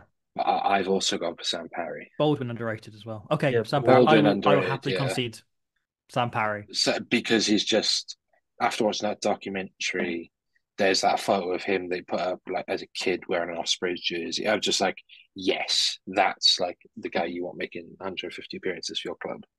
The greatest Um, player that is built the same. yeah. Um, tighthead. I think we're all going to be very similar on this. Oh, okay. You go for Adam. R- Reese? Uh, yes, then. Yeah, Adam Jones for me. Just Again, right. This is it. I've gone for Dimitri I, I, well, I thought you might. I thought you might. because was- I just, I just love him. yeah. If you were Just- picking, if you were picking a twenty-three, he's coming on with twenty minutes to go to smash some Yeah. scrum. Yeah. Completely agreed. Yeah, Dimitri sits on the bench, but Okay. Right. who would be I'll- your second yeah. choice, James? I, it would be Bomb. Bomb would be my second choice. Yeah, I, yeah. th- I um Campbell Johnstone's on there as well Okay, because yeah, it's Campbell Johnstone because it's just yeah. like and, and Dan Suter would be at the bottom. Um, On Alex of Jeffrey's underrated. make the list. yeah, Alex Jeffries is really. Alex Jeffries is a really Tom good Boat, sidestep. yeah. Tom, but yeah, again, I love Tom, but the Stellenbosch sniper is great. But Rhys yeah, Henry, Bomb- like skating up the list quickly as well. yeah, Rhys Henry Just like he is in definitely that- there. Okay, That Hornet House. second se- second row, favorite second row. Yes, then you go first. I I, th- I think there's one obvious one that we should all agree on. Yeah. All right, should we, should we do the obvious one? Yes. the Cox Steinkamp. Yeah, Brett Brett Cobain, Yeah, Alan Alaman. No, we're all Yeah, agreeing. he's- on he's won. Yeah, Alun Wyn Alan wins. nailed in. Okay, Alan wins one. He's at four. Who's who's Okay. joining him? It's really interesting because you've got you kind of got like your eras in a way. You've got your Yeah, kind of Jonathan Thomas, Ian Evans. Obviously nowadays you've got British and Irish Tesla and Adam Beard as well. Yeah. Um, So, so I it's, thought you could say James. I think you could say James Ryan. Then I was going to. I'm not falling. off- I am. I I think that was like my first post on Blue Sky. That was. I just put a photo of Adam Beard in the Lions shirt, and I got no likes whatsoever because no one's on there. So um, oh, to pick I'm going to one, make an account to like it. I might have to just go for. Oh, hmm. I just do like Beard though, don't I? It's just just You're, not- right, you'll go. You'll go for Beard. Okay. Oh, Robbie. someone might shoot me I- for that. No, no. I have spent too much time defending Adam Beard to not pick Adam Beard here. Okay, Adam right. Beard, Adam Beard straight in the team. Just he would be for the I've- Lions. I've gone for Tyler Ardron. Oh, I've got him a I six. completely forgot Tyler Ardron. Oh, I've Ardron's got to be in this Tyler team somewhere. I yeah, I I could not put him in there. I completely forgot Ardron. Oh man, I might have to change my vote. I might have to apologize to Adam Beard and take him out for someone. Crucially, it's not I- James Ryan going in the team, so it's No, fine. Ad- Adam Beard would be on my bench because I love Big I, Nasty. I think I can I give up the, in. I can give up the beard vote, even though I did shift Ardron to my back row, which is quite smart. Okay. Right, we say Tyler Ardron. Yes. Yeah, we'll take. I'll take Tyler Ardron. Yeah. It's because it's because I watch the highlights of that game against Munster at least once a week, yeah. where he's just like decides to be like amazing. Right, six. Surely this is my one ad else. Ardron, so I'm kind of out. You had- I'm out the, I'm out the you had picture. Ardron. You had Ardron. Robbie, you could put you Ian Evans for? there. Um, uh, Jerry Collins. Yeah, I've gone for Jerry. Jerry is Jerry. like I remember being like ten, being sat in the bottom Hmm. of the east stand, shouting Jerry, Jer-" while he's like fighting someone. Yeah. Like um, Oh, just wonderful. Like, and watching um preseason game against Leeds, I mentioned before, where like he was sat behind me, is one of my favorite rugby memories ever. He was wearing a stupid hat that didn't suit him at all, and all the rest of the squad had taken the piss out of him for it. Um, Yeah. just yeah, a wonderful character, wonderful guy. Love him so much. Yeah. Okay. We're all agreed I on Jerry. think- yeah, I think we're all in agreement who's at seven. Yeah. Yeah. It's, But- it's yeah, Ben Ben Isaac no Ben Isaacs? Ben Isaacs? yeah. Ben Luca? No, Ben Lewis. Oh, God, I took me It's three just- attempts to say a stupid joke name. It, it's Um, it's it's just a Tipuric, isn't it? It's Justin Tipuric. Yeah, there was no other option. Like No. he was my first name Uh, on the team sheet. Yeah. The greatest Osprey of all time. I will stand by that and fight anyone who says Alun Wyn Jones, who is the, the only ever contender. Um, eight is I'm still stuck on my eight. Right. Yes, then See, you go first. I, you, you, tell me your mine. eight. I've picked um, Dragons defense coach Filo Tiatia.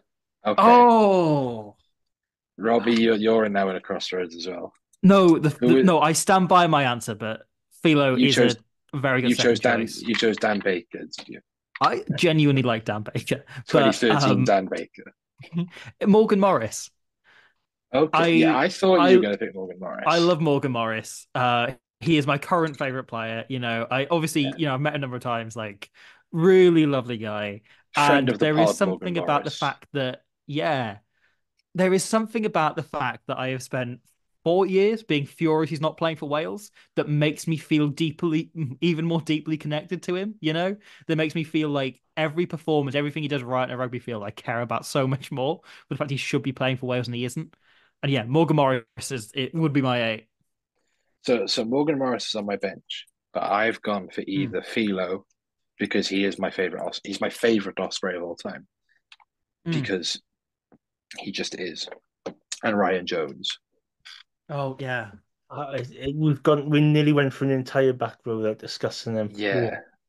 Um, and I don't know who to pick. I'm go- I, I- just for pop, I think for popular Filo's- vote. yeah. I'll go Filo, but Yeah. Morgan would be on there. He knows he would be on there. Like, he- Well, Tier He's my Tier current does favourite follow me on Twitter, I think. So um, yeah. I kind of swung it. okay. So let's go into Yeah, the no. scrum half. well, everyone knows who i've picked i'm not deviating I've got a reputation to uphold. I didn't get Tom anyone to Habberfield. fight Robbie for this one. Tom yeah tom Habberfield for Habberfield you, at nine look i'm And not doubting that my favorite Yeah, yeah yeah, yes. I think I know who you've gone for because you mention him all the time. Still doing it on the fly. Ricky January. Uh, Oh, no, it's um, he's a shout. He was close to making the twenty. good actually. shout If if I was picking like an era, it would be like the 2014 to 2016 ish Rhys Webb when he was at the Oh, real yeah. peak of his game. pre KFC. Pre Lions tour Rhys Webb. So I I've gone for Kahn Fotuali'i. That was my bench oh option. shout Uh, I right for for for our sake, I am going to say that we are picking Kahn Fotuali'i Yes. because because of just d- democracy, which Robbie is a big believer in. Um, I'm a big Um, believer in democracy, but a bigger believer in Tom. you, Tom you bloody can't- you- Habberfield. You, can't abandon your lefty values now. Um, I can abandon anything but hey a left winger in Tom Habberfield. yeah. I, I right, I'm going to put Kahn there, but And I I'll put don't think um, Okay, everyone no. lumped. I don't think anyone lumped the blame on Kahn Fotuali'i for box kicking a game away with two minutes to go, like the, the treatment Haverfield got. Okay. Yeah, yeah. Okay, Again, no, I but fe- I, I- I will I accept. feel I, will accept Comfortably at nine, but I'm going to make one late adjustment to my team. Okay, I feel like ten is going to be a unanimous one again. It's Marty McKenzie. Um, I, I, I genuinely had a thought of him earlier this afternoon. I was thinking, I, I you- think I saw I saw a clip of Damien from last Yeah. Saturday's Mm. rugby match, wherever that was, and um, yeah, just all of a sudden Marty McKenzie popped in my head. I'm thinking, huh, we are there. well, who did everyone say?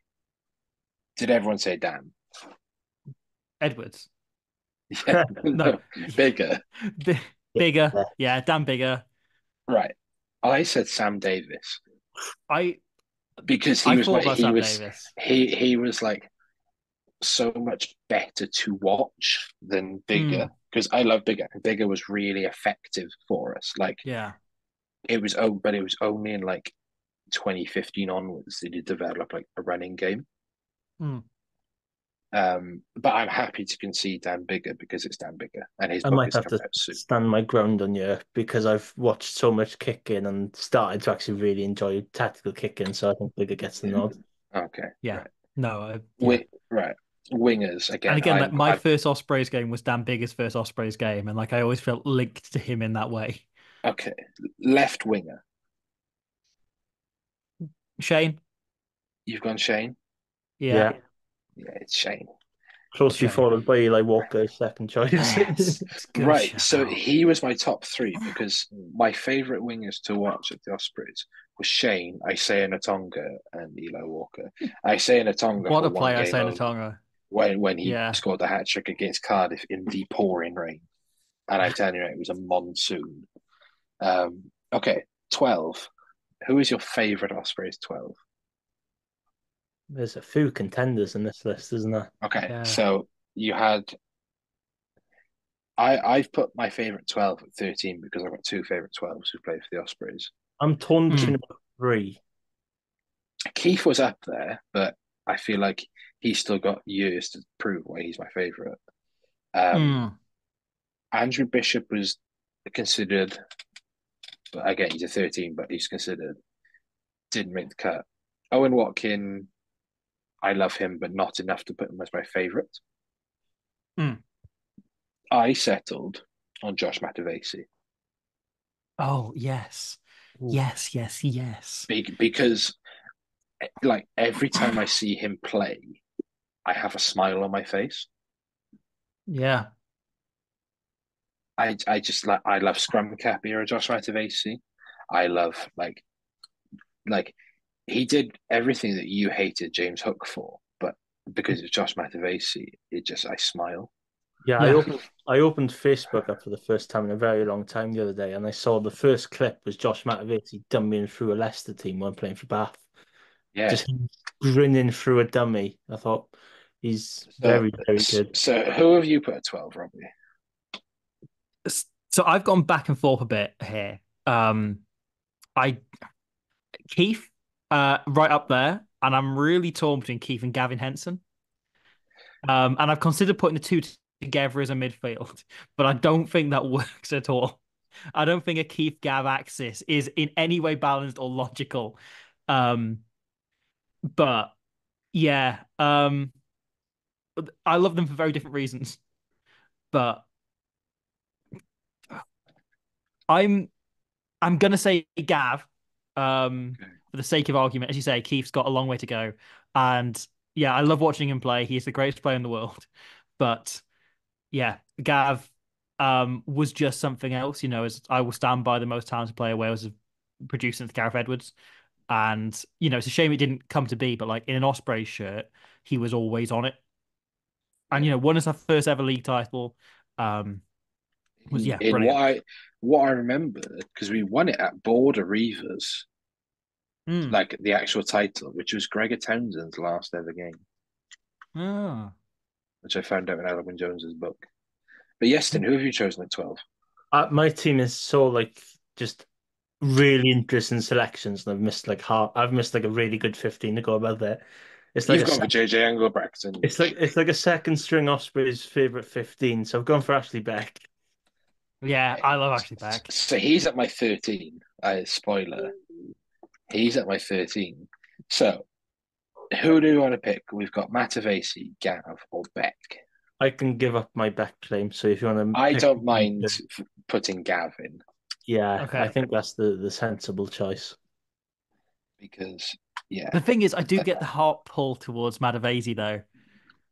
Like Gav is more of a head pick than Matavesi being a heart pick. I get it. there's there's that Top Gear meme where you know the Jeremy Clarkson goes like, "This is brilliant, but I Yes. like this." Like Gavin Yeah. Henson is brilliant, but I like my Josh Matavesi. Yeah. Okay, 13. Who have you gone for, Robbie? Um. Yeah. Sort of Keith. Um. But sort of Tommy Bowe sliding him into thirteen, where he did play You some very good rugby for the Ospreys. Okay. Yeah. Okay. In order to get him in the team. Um. But if Keith sits in there, then Tommy bumps out to the wing. But Tommy Bowe is again one of my favorite, you know, players of all time, favorite Ospreys of all time, I- and I've favorite got- I- running TV presenters of all time. I've got him. I've got him on my wing. So yeah. Yeah, I'd go on the wing as well. Okay.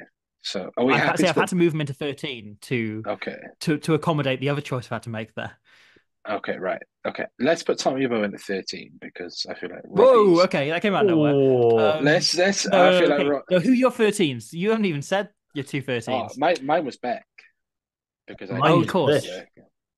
Bish. Oh, See, Bish. Bish is a good shout. Never missed a tackle, man. Right. I think we've got to do the wing before we decide if Tommy was going a wing or 13. Okay. Right. Who's the right? My my wing was Bowe. Mm, my wing was Bowe, closely followed by Hanno Dirksen.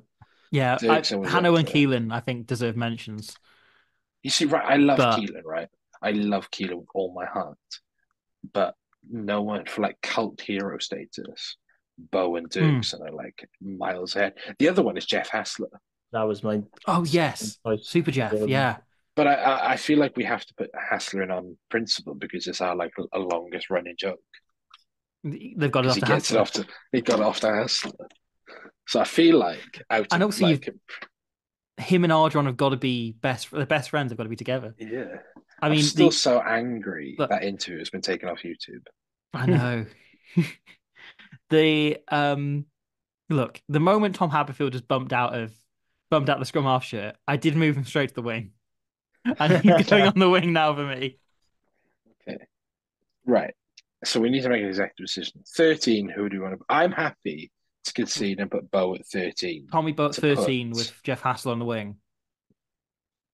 just for pure rugby chaos. I love that. I'm yeah, yeah. Okay. Now I feel like I know Robbie's 15 choice. I think I think I'm going to be swimming against the tide here, but yeah, Okay. Is it Richard Fussell? it's Richard Fussell. It's Richard goddamn Fussell, the greatest counter-attacking fullback in Europe to this And I day. know- if I was made I- Wales coach now, I would cap him. I know Iestyn's as well because he loves this man. It's Dan Oh. Evans. Lee Byrne. Oh, Oh! really? Oh. Yeah. So we've all gone for three different. I've gone for Dan Evans. Byrne thought was kind might. of like my favorite fullback. Well, probably one of my favorite players growing up. Mm. Like he was like one of the first people I saw like do something. I was like, oh yeah, I like that guy. He can. he, he, Yeah. he looks really nice. Okay. This is a this is the toughest one for me. This is probably the Yeah, I- I'd agree with any of the three You- it's, going in the team. there's they need like a three-headed coin to flip. The other guy I thought about was Sam Davies as a fullback because I loved him as a yeah. He was an underrated fullback. Yeah, that weird period where Dan Evans on the wing and then the yeah. the Sam weird Davies. Dan Evans on the wing era. Um, I feel like I, Dan Evans is too easy a choice because he scored so many tries. But But also, don't know before that. he is kind of if you're picking an all-time Ospreys team objectively. He, You're- yeah, if, he, if you're picking it on how good they were at the top of their game, it's Lee Byrne. Dan Evans, If you're picking Oh, him as a servant for the club, it's Dan Evans. yeah, And if you're picking it correctly, it's Richard Fussell. If you're picking it tomorrow to play against Exeter, it's Richard Fussell. It's Richard Fussell. Uh, okay, I'm happy to concede for Fussell just because, uh, yeah. I was Yeah, expecting view- it to be the- Dan Evans. the- I was The expecting. viewers can the viewers can have the selection headache of picking between Okay. Dan Evans and Lee That's Byrne. That's, fair. not my problem. yeah. So, so the Ospreys Eyrie favourite 50 is Nicky, Sam Parry, Bomb, Alun Wyn Jones, and Tyler Ardron, Jerry Collins, Justin Tipuric, Filo Tia, oof. Um, Kahn Fotuali'i and Dan Biggar, Shane Williams and Jeff Hassler on the wings, Gavin Henson, Tommy Bowe in the centre, oof. Richard Fussell on at fullback. Richard Fussell slash Dan Evans. They can play halves. They can play a half each. And Lee Byrne as well, though. They can play 20 minutes each. We've left the viewers with a really good selection headache. Yeah. So So, Yeah. So, so, so some people we didn't uh, like uh, mention um, Dan Lydiate um, as a favourite. Sam Lewis would be Sam a Lydiate, yeah. of Sam Lewis, favourites. Cult hero. Um, uh, trying to think off the top of my head. Um, Brendan Leonard is no one's favourite. James um, King? James, James King, King, solid James player. Hook, James Yeah. Hook, um, Barry Davis just came to Barry my mind. Davis, yeah. Um, look, I don't think Nicky Ali Davis is anyone's absolute favorite, but the face charge down gets him so many points. Yeah, Nikki Walker. Yeah, Um, yeah, you, you got like Brent Cockbain, Andy Lloyd, Sonny Parker. Yeah. Steve, Steve Mm, Tandy. Sonny Parker. yes, Um, yeah, so I think yeah, there's there's a lot there. Like, but you could even say like 2013 Dan Baker. yeah. Um, trying Joe- think who else? Joe Bearman, if you want to really extend your oh, Joe career. Bearman, Yes. yeah. In You got uh, Elvis Seveali'i back in the day. Ryan Bevington briefly, Scott Otten, Scott Otten. We didn't Oh mention. yeah, Ivan. Oh my God, Ivan- I'm changing the hooker. It's Ifan Phillips. Ethan Phillips. Is he on the bench? He's now on the bench. Yeah. I think Ethan's university number sixteen. Um, Ifan Phillips. Should we do a bench quickly then? Ivan. sure, Are we, I'm sa- I'm are, loving doing this. This is great. are we are we saying Duncan on the bench for 17? Duncan on the bench, Duncan and Dimitri And- on the bench. Dimitri Arhip. Dimitri. Look at that. A bomb squad. Step aside. That is hell of a bomb squad. Uh, Beard. Yep. Yeah. Uh, are we doing six two or five three? Let's go this traditional five three. Okay, flanker. Oh no, Ryan. that's the Ryan. question. It's got to be Ryan. Oh, Ryan, yeah, covers across the back row. Yeah, Uh, twenty one. Right there's Tom Habberfield. Oh, they're Morgan Morris. Look, We I go love 6-2. I love. No. Yeah. We could go six wanna two, go- and that would mean we need to scrum off. He's Andy- very versatile. Andy and wore 21 where he made that epic performance against Worcester in the Challenge Cup. We won like three Yes. yes. in 10 minutes. You are right there. Uh, okay, and then Tom Habberfield, twenty-two. yes, Can cover more than Uh, one position. We won. counts. Yeah. Dan Evans, it's you need you, 23. you know. That's fair. That's that's fair. Um, head coach. There's got to be one head coach, surely. It's Toby Booth. Scott Johnson. Ah, Toby Booth. Yeah. I, Um, I think Steve Tandy's reputation has. I think we're getting towards it being like replenished because I think he did a lot of really good stuff. He'd probably be second choice for me, but I think it is Um, Boofy. His his assistant is Brad Davies. Okay, personal yeah. favorite of mine. Um, alongside, Duncan. I feel like Lyn, again. Lyn, yeah, Duncan Lyn Jones has to be in there. Sure. Yeah. Um, so we're saying Duncan, Lyn. We need one more assistant coach. Um, One more. I can think of plenty of names it isn't. Um, Yeah. It's not Brock James. yeah. there's, I mean, there's another one I could say that I'm not gonna, you know. Yeah. Um, ooh, Is it Renzo Orn Molly? maybe. Um, I, y- yeah, you know, we've got a team there. You know, we can have Okay. Mike Ruddock developing the youth or whatever. Yeah, there you are, Mike Ruddock. I'm Mike Ruddock. Okay, so this is entering the unofficial ERG. Mm. Um, actually, no, this is the team we're sending to the Anglo Welsh League.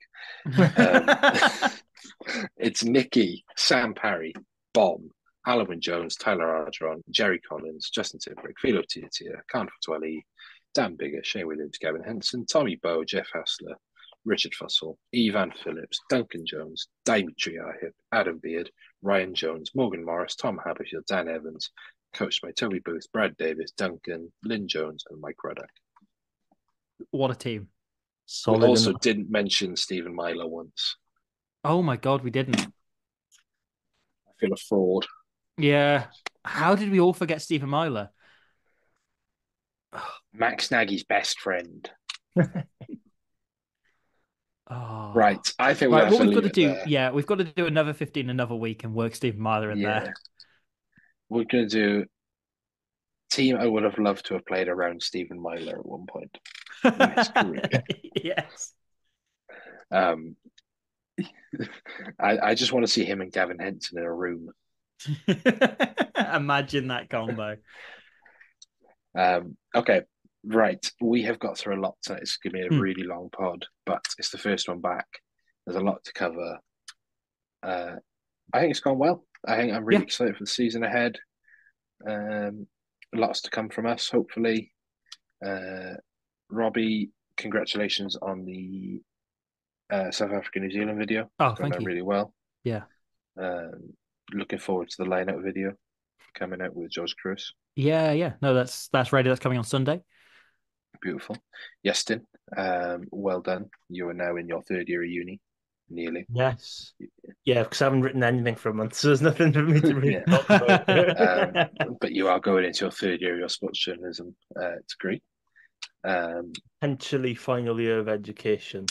potentially, Mm, some say you never stop learning, um, that's true. but they're all, Yeah, they're all very true. idiot. They're they're all idiots. But Um, there is some pieces coming soon, so keep keep your eyes I. I yeah. So yeah, so you can find Robbie at Squid Rugby everywhere. Mhm. Um, you can find Iestyn, Iestyn underscore Thomas twenty one. Haven't done this in a while, and you can also find me at Ospreys Eyrie. Um, follow the pod. We, I can say this now. Yeah, we we're going to get some player interviews. So Hmm. very similar to the Toby Booth stuff, where it'd be a bit shorter. Um, but yeah, we're definitely going to have some player interviews.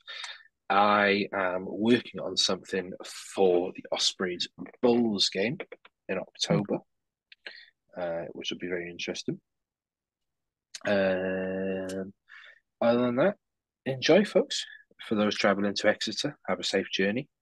Uh, for those, then, we will see you ready for the season opener against the DHL Stormers at home. And just before that, the doubleheader of Wales women versus Australia and the Dragons, Dragons. the Ospreys. Yeah, I forgot who they were then. Um, yeah, have a good one, everyone. Hmm. Jonathan Spratt was robbed.